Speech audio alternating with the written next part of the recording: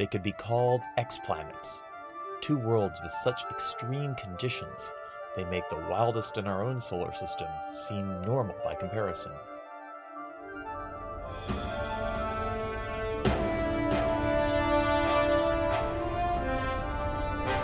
The Hidden Universe Showcase explores exciting new results in infrared astronomy from NASA's Spitzer Space Telescope with your host, Dr. Robert Hurt.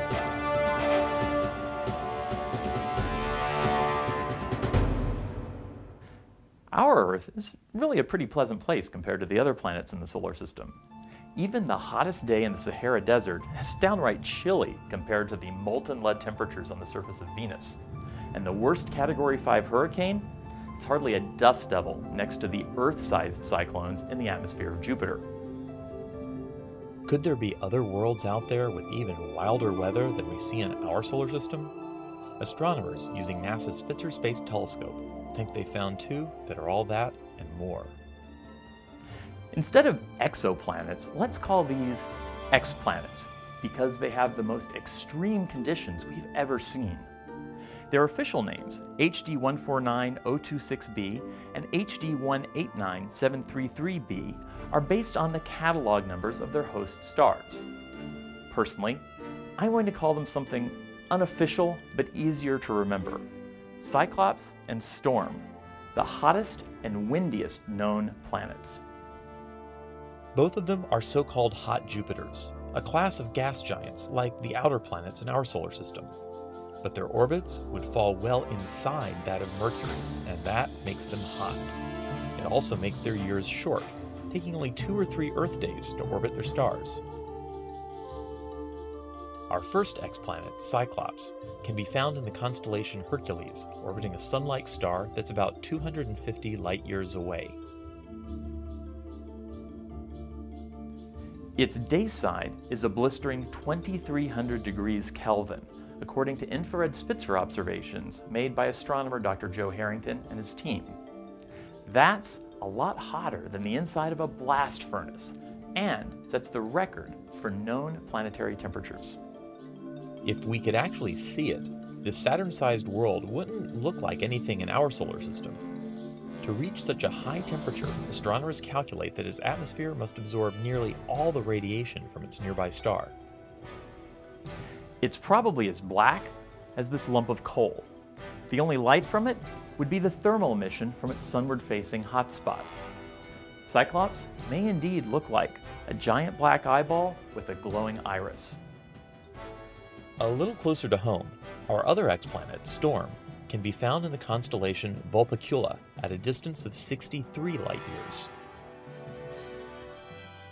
A team led by Dr. Heather Knutson carefully studied how Storm's brightness varied over the course of its orbit and derived the first ever temperature map for an exoplanet. Unlike Cyclops, where the hotspot sits directly under the baking heat of its sun, on Storm it's shifted away by about 30 degrees. The researchers deduce this shift is caused by ferocious winds in the upper atmosphere that sweep the hot clouds around the planet before they can cool off much. The wind speeds could be as high as 9,600 kilometers an hour, or 6,000 miles an hour. That's about 30 times faster than the jet streams in Earth's atmosphere. Storm's day side is about half as hot as Cyclops, but its night side only drops a couple hundred degrees due to the winds redistributing the heat. So, how can we gather weather reports from worlds we can't even see directly? They're so far away, their faint glow is completely blurred together with the much brighter light of their host stars. It's like trying to study a tennis ball that's next to a searchlight.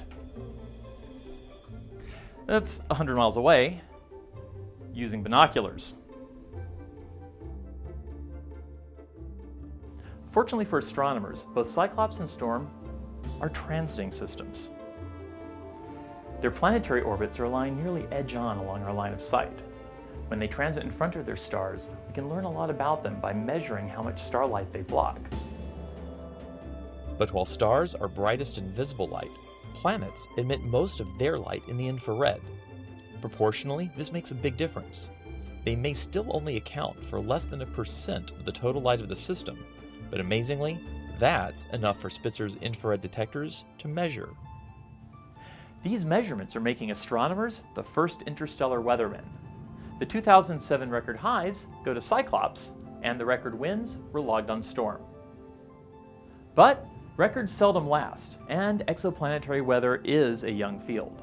Fortunately, Spitzer will remain a powerful tool for studying exoplanets even after it runs out of coolant at the end of its primary mission. Expect to hear about hotter, windier, and even stranger exoplanets in the coming years. For the Spitzer Science Center, I'm Dr. Robert Hurt, reminding you there's a hidden and extreme universe just waiting to be discovered. The Hidden Universe is produced by the Spitzer Science Center at the California Institute of Technology in Pasadena. The Spitzer mission is managed by NASA's Jet Propulsion Laboratory.